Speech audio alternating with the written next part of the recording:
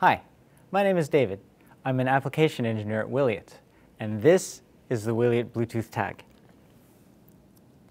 The dot in the center is our chip. The two loops you see are antennas.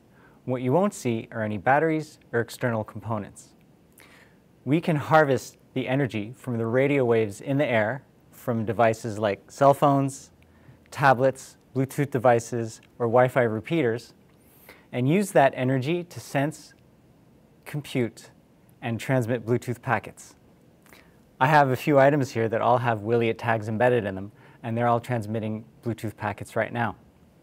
These packets can get picked up by any Bluetooth device, like my phone. Here's some information on the shirt. And the cloud receives these packets, decrypts them, and generates the sensor events. The sensor events can give you a lot of information about your products. If you're into safety or quality, you would want to know that your wine was always stored at the right temperature or that your hot food was always hot. If you're a brand or a retailer, you'd want continuous inventory, being able to prove that your products are genuine or get some real insight into the interactions that your customers are having with your products in the store and at home. My name is David. Thank you for watching this demonstration of the Wiliot battery-free Bluetooth tag.